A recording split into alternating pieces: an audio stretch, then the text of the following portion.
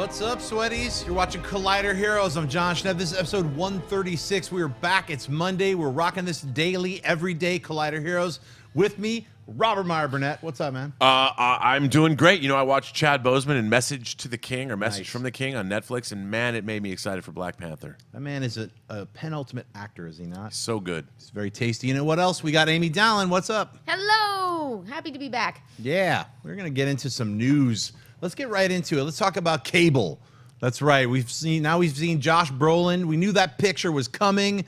We've got a whole bunch of amazing pics dropping from Deadpool. Last week we had uh, Zazie Beetz. Yes, that's her name. I love that name, and I love the way they they gave that look uh, for Domino. It's a very unique and original take on the domino outfit they almost kind of inverted her and gave her you know this this cool new look and then we've got cable where he's looking very much ex- almost exactly like what i hoped the josh brolin cable would look like. I mean a couple people were saying they kind of commandoed him up. He's looking a little more arnold. But uh, at the same time that's a that's the kind of cable that i want in this universe. He's not going to be like you know liefeld had those like giant shoulder pads and the massive super giant gun. It's not going to look like that. This is like the realistic version of cable. Amy, that what are doesn't your thoughts? qualify as a giant gun to you? No, it is, but that's Yeah, not a that's a pretty- gun. It's not the you know my- I am you know whoa. It's, Yeah, it's a big gun. It's not a Final Fantasy sword Yes. size gun. Yeah. Uh, but I mean, that's cable.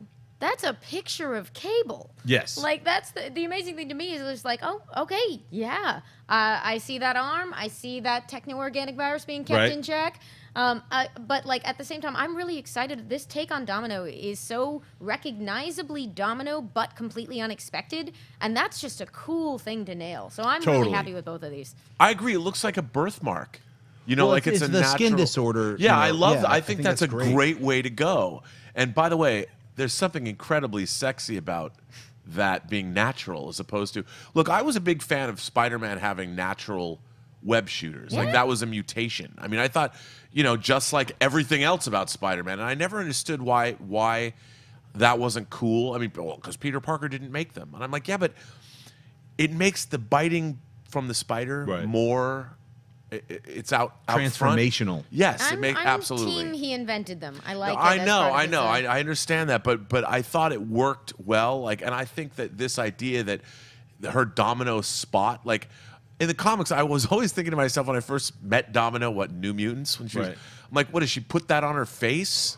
You know, I know it's part of a costume. Right. It makes more sense that you've got this attractive woman who has this interesting anomaly Yeah. that that's cool, and it looks. I think it looks really sexy. I don't know. It's very sexy. I mean, if your name is Zazie Beetz, uh, you know you're already kind of sexy. Right, It's like right. now she's rocking this cool this cool look. I think D- Domino looks really cool and different from the comic book, and Cable looks really cool and very similar to the comic books. I think. Yeah, you and I mean, look, he's just wearing he's wearing military fatigues, which makes sense because he's a real guy and not a four color comic book character. Right. And if you're going to look for a translation, that's that's a great way to do it. I mean, look at his arm. Also, this is the Foxverse, so they're not going to be wearing bright colors most of the time. No. Right. And except Deadpool wearing his red, which is great. But look at he still has all the bandoliers and oh, straps yeah, that he's got a lot of buckles. a But lot they of look real. A lot of Yeah. buckles. I love that. You know where Liefeld got those buckles? SWAT. He told me. I was like, "Wow, what's up with all the buckles and you know things?" He was like, the, "The pouches." He's like, "The SWAT movie," and that's when it clicked with me. I was like, "That's so awesome. That makes total sense." He was Yep. like, "Where are people putting all the ammunition? They got to have those pouches." I was like, "All right, man, I'm I'm with you know the who's pouches always now." got granola bars on him? Cable. That's right. Always got a granola bar because he's got them pouches.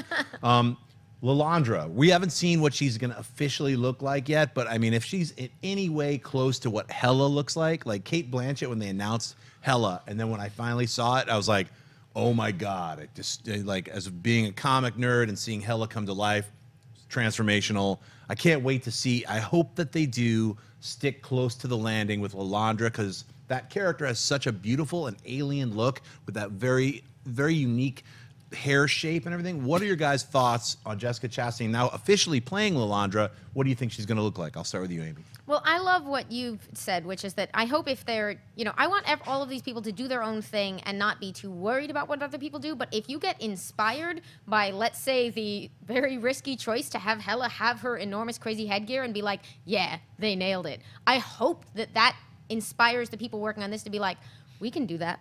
We can take chances and Yeah. have it look really, really cool. Because some version of that headdress, uh, like there are a lot of ways you can go with it because since it's drawn on the page, it's sort of unclear what it is and how you make it, which means you get a lot of freedom in how you execute that. Right. Um, but I hope that that's what they're looking to to be like, let's hit that mark. Robert. Well, I agree with you. I, I- I mean, she's so distinctive as a character. And it was one of those things when you first see her, like when I was first reading X Men, you're like, you do say, what is that? Like, is that her hair? Is she wearing like some Egyptian? hat? Are they feathers? Is it Is it like the hair? helmet from Battlestar Galactica Right. that looked like a pharaoh's, the first one from the first series? I mean, what is that? And and I think the fact that Jessica Chastain is a redhead, I'm a big fan of redheads. It's Mm-hmm. one of my things. I, I don't want them to obscure her red hair. Right.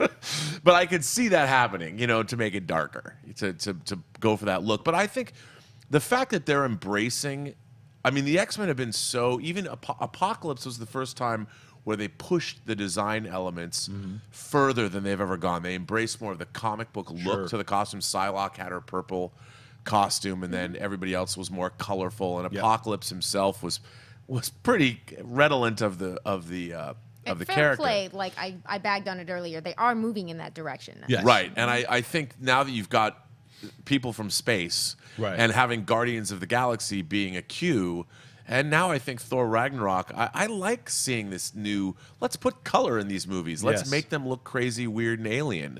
Because that's what I want to see. I want to see, look, the Shi'ar, those characters are very colorful and diverse and big and small, and I want to see that. Yeah, I want to see know? Gladiator with this giant weird mohawk, and Right. a weird Yeah. red and blue outfit. I want to see that. So hopefully we're going to see that. You know, Ian McShane was just recently announced last week. He's in Hellboy, the brand new Hellboy movie starring David Harbour as Hellboy. He's playing Broom, so he's taking over the John Hurt role from the uh, Guillermo uh, movies. What are your guys' thought about anytime you add? I'll just say, anytime you sprinkle in Ian McShane, that's just flavor. That's instantly like you just made the movie that much better. I don't care what the movie is. You add Ian McShane, it just became. I might see that. It didn't even matter what it is. Now I'm interested.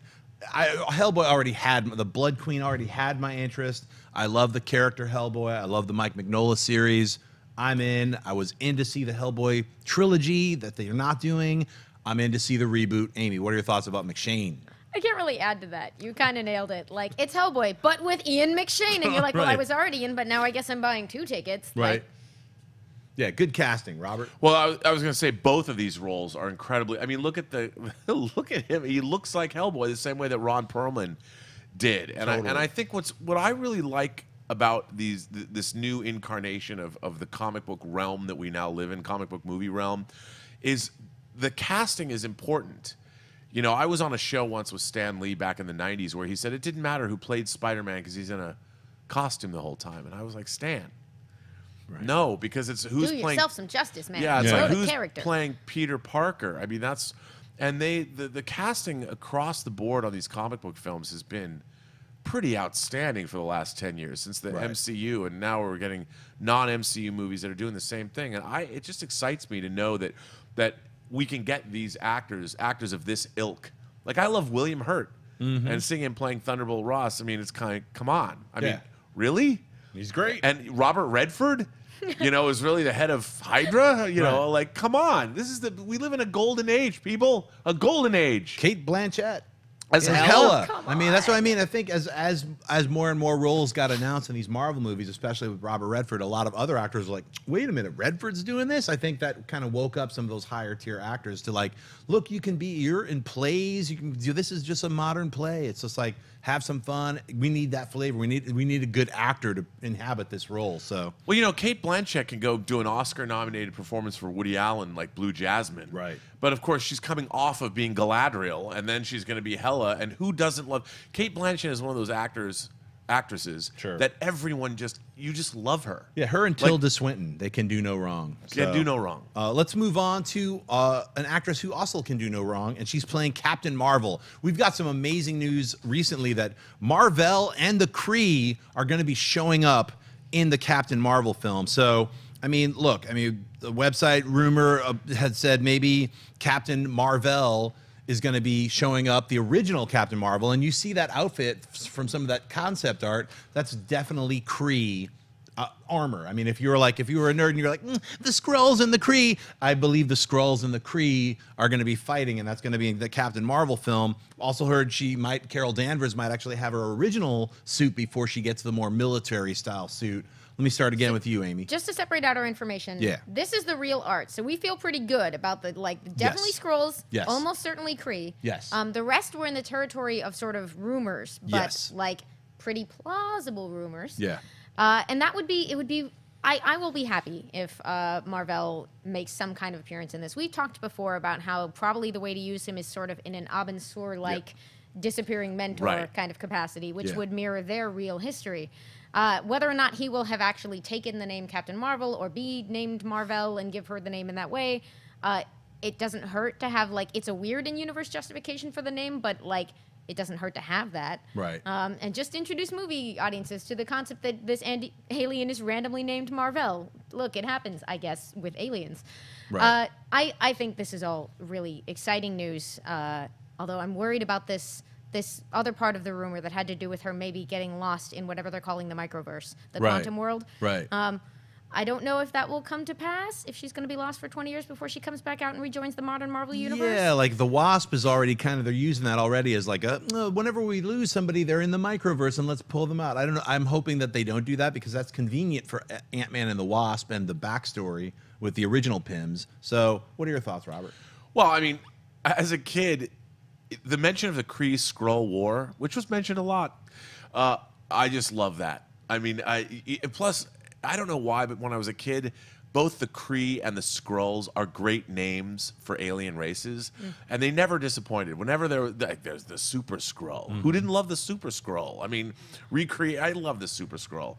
Um, so the idea that they're going to touch on that, they're going to touch on the Kree Skrull conflict as part of this, at least even judging from this uh, artwork, it certainly looks that way. So again, it's it's the MCU going back to very classic elements of their their their it, maybe not an exact translation Yeah, it'll of be what happened. a Kree Skrull War. Right. Whether It'll be it'll be, something- the Kree Skrull War because they a different have, question. Yeah, totally. But they have to they have to tailor these things to the to the the cinematic universe, which is very different than the comics. Right. It just makes me. I, I look. It's just too bad I can't see Avengers Annual Ten when Rogue takes her powers away. I, I love that. I still love it. I talk. It's one of my favorite issues of comics of all time. Well, I Maybe think, they'll do an homage to it. I don't know. I think with the Kree Skrulls uh, fighting and being introduced in Captain Marvel, and we're getting we're going to get a little of that setup. I can't help but feel that the Avengers Four movie could have some of those elements to it, unless they're really literally going to have Captain Marvel, the Kree Skrull War, sort of similarly to Captain America: Civil War. How they can take a movie and have this giant whole other movie inside of it while he's still introducing the main character, but all the other players are there. What are your thoughts on that? I think that that would be an interesting way to go. Uh, like with a the first Captain Marvel movie, I figure will just be her and aliens because they're going to have enough work to Right. do. And it's set in the like- 90s, yeah. Yeah, with uh, hopefully a couple of nice appearances or ties in Nick Fury, et cetera, to the wider Marvel universe. Um, but it seems likely that they'll play that conflict out there rather than saving it for a giant thing. Right. I'm curious mostly if like her if she's just going to be shield strictly or if they're going to take advantage of one of these other observational groups like i don't know who owns sword the like alien response version of shield Right. um, with abigail brand it came from the x-men comics but now Right. it's part of the marvel universe Right. uh, i don't know who owns uh, i guess they they probably don't own alpha flight right because current Carol has been running around with a few different outfits, like heading a version of Alpha Flight, which is an alien response department, heading a version of the Ultimates, which is sort of a looking out for alien worlds thing. All of that, though, points to this version of her, like, as a protector of Earth, focused on preventing alien invasions. All of that leads to this in a really natural way with the. Well, you brought up a they're bunch of different things. Sword, Yeah. Sword is owned by ABC Shield because they talked about Agents of Sword. That Okay. very much could be if they wanted to keep moving that forward, that series. The Sentient World Observation and or, Response or Department. Marvel could be like, nah, we're taking that for the movies. Figure out something else. So that's owned by Marvel proper. Um, Robert, did you want to? Well, I mean, I, I look. If I was Simon Kinberg, I would have a. Uh, I would say, hey man, can you just put a shot of Lilandra's ship passing through by Captain Marvel at some point? No, they probably would never do that, but it would be cool because they both take place in the '90s. But I, I, I no, I agree. All of these things that we're saying, there's so much potential here. I mean, I think it's interesting because the MCU did get the Kree and the Skrull. Isn't that Fantastic Four? I think we talked about this that they can sh- they share the They Skrulls, it. but they can't have Super Skrull. He belongs to Fox. Right. Okay. He belongs to Fox. Now, Alpha Flight's probably a Fox thing too. Alpha Flight is Fox, but it's it makes sense because now, at least for the X Men, they're introducing the cosmic aspect. Alpha Flight has now introduced the cosmic aspect. So, you know, do I want to see Puck? Yes. Are we going to see that version of Alpha Flight? Who knows? But I'd love to see the original one Yeah. with Sasquatch. Me and too. Everybody, And Snowbird. Peter Dinklage has to play Puck. Peter Dinklage, you're watching this. Get on Puck. That, that's a per, it's a role that you were born to play. It's an awesome role. Yeah. Um, let's move on to the third topic. We've got Millar, Millar World purchased by Netflix. Now I always say Mark Millar. I don't know if it's Miller or Mark M- Miller. Mark. I was told Millar. Okay. I've so- I always have learned this Millar. several times and then forgotten, but I thought it was Miller. Yeah, because Miller to me is Frank Miller, and then other people with the M I L L E R and M I L L A R just feels like Millar. So I'm going to keep saying Millar until he says you're saying my name wrong. So Mark Millar and his entire universe of series. You got Nemesis, Jupiter's Legacy, which we've talked about a lot. The Kick-Ass movies, Starlight, Empress, Huck, Chrononauts, Reborn, Superior, Wanted, Super Crooks. So many more. Netflix just bought his entire universe. Now that is stop and be like, what? that is insane. It's giant news. I mean, if you're not familiar with the Millar world or who Mark Millar is, I'm sure you've probably seen the movie Wanted, you've probably seen Kick Ass,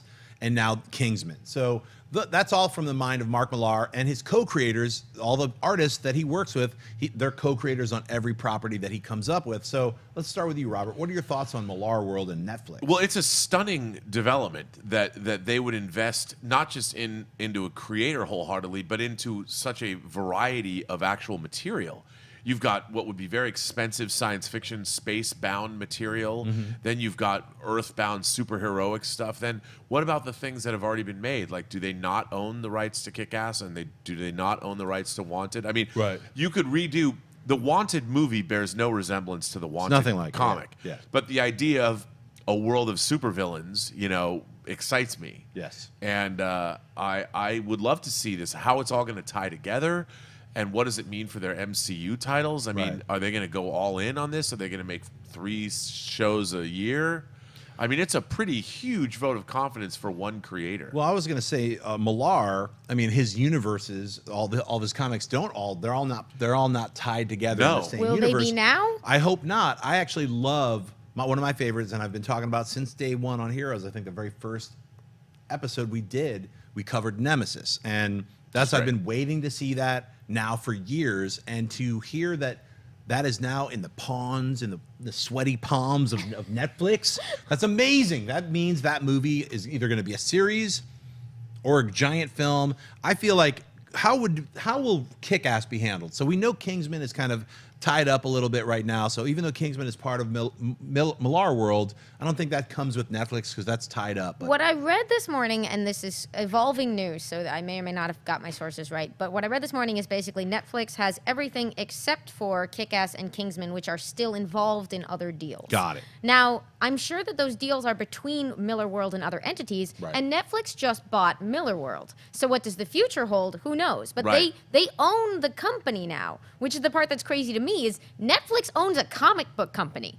Wow. Did any in 1999? Did anyone see this coming? Wow. No. Like, No. This is crazy. Um, so what's interesting? I'm very curious in that side of it, like the creative. What does this mean for those things moving forward? As you've said, most Miller World books are self-contained, Right. Yep. uh, and that has been one of the big appeals is that he can get the best artists in the universe because they share ownership. I don't know if that's still true. right. Who owns the books going forward? Are they still going to have the image bug on them, Right. standing for creator and comics? I don't know. But is this a really cool announcement for a dude who's poured years of his life into making comics? Yeah, yeah, it is. yeah, it's really great. I feel like the some of those things you you touched on are incredibly important, especially for this show, which is all about comic books and comic book movies and TV shows. They start with a comic book. Netflix has to handle this properly. They can't just be like, we own everything and no one gets rights or it, like I, like the way they own Netflix. Netflix owns Netflix, and the way they're doing their distribution model is amazing. But going backwards, working you know, integrating it backwards, how is that going to work? Like, I, I, I mean, I'm glad. I'm.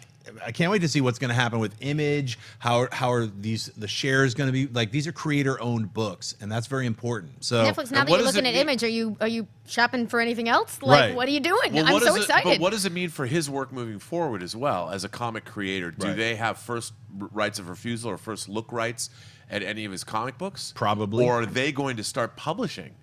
Uh, that's what Amy was bringing up. It's like, is it going to continue to go through? Is is Netflix going to become a comic? But who publisher? owns? Like, I'm curious is if like a studio, if a studio has a first look deal with a writer or a director, Right. You have to submit their project, your project, to that studio first, and Right. then they have right of first refusal. Right. Then you can shop it around to other people. Are they going to allow him to do that? Uh, no, that's what I'm curious. I don't think so. They just bought his universe, so I don't bought think his he's company. Yeah, right? his He's company. been publishing all his books through Miller Of, World of- for of years course, now. of Like, course. But does that mean if he wants to write a new comic, do they just own it? Yep, I think they do. I think probably sitting on a big giant bag of money, like like six or seven homes deep, where he's like, yeah, anything I come up with, Oh. Netflix is going to be making. So If we can also shout this out in his statement, he talked about that like this deal, which I assume is a pretty nice one for him, uh, is going to lead to the forthcoming announcement of some kind of charity initiative this fall, which is aimed at the town he grew up in in Scotland and revitalizing parts of it. The Wow. details aren't out yet. Wow. But like that's what he's doing well, with the money he Mark just got handed from Netflix. you are awesome. Congratulations. We look forward to. I can't wait to see Nemesis and Jupiter's Legacy. Those are my two favorites that you've done.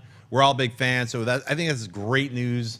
The best way to rock out a Monday. Uh, you've been watching uh, Collider Heroes. Let me thank my guests. Robert, where can people find you online? Well, thanks. This was a great uh, episode. Um, you can find me at Burnett RM on Twitter. You can find me at RM Burnett uh, on uh, what is that Instagram or on Facebook, Robert Meyer Burnett. And keep telling me you're not a Russian hot bot. I very much appreciate those. And as many messages as I get, it always makes me laugh. Amy Dallen, where can we find you online? You can find me on Twitter and Instagram at Enthusiamy. And you guys can find me just on Twitter and Instagram, just at Jon Schnepp. And look for a later episode of Comic Book Shopping this week with Frank Miller, the man, the myth, the legend. I'll see you guys tomorrow. Hey guys, if you like this video, click the thumbs up button. Also, make sure you subscribe to our YouTube channel. It'll help you stay up to date with everything we've got going on here at Collider.